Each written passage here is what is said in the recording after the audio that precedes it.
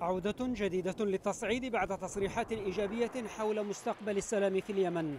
فقد شهدت صنعاء منذ فجر الثلاثاء تحليقا مكثفا للطائرات السعودية مصحوبا بضربات جوية على عدة مواقع عسكرية معظمها في جنوب العاصمة.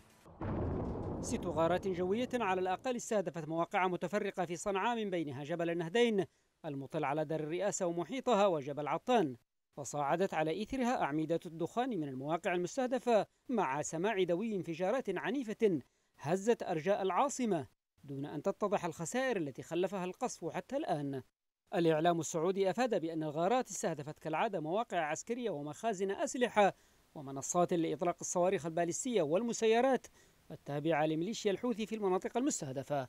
غارات تأتي بعد يوم واحد على تنفيذ الحوثيين عدة هجمات بالطائرات المسيرة المفخخة.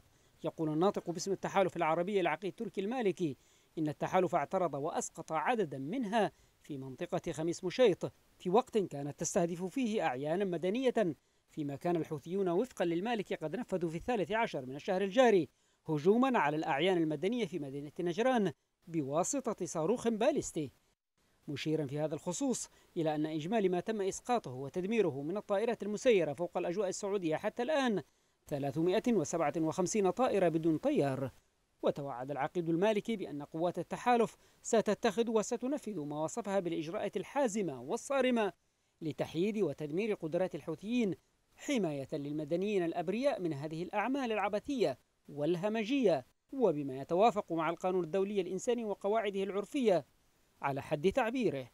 المتحدث العسكري باسم الحوثيين يحيى سريع أفاد من جهته أن الطيران المسير استهدف مساء الاثنين مرابط الطائرات ومخازن التسليح وأهدافا عسكرية حساسة أخرى في خميس مشيط.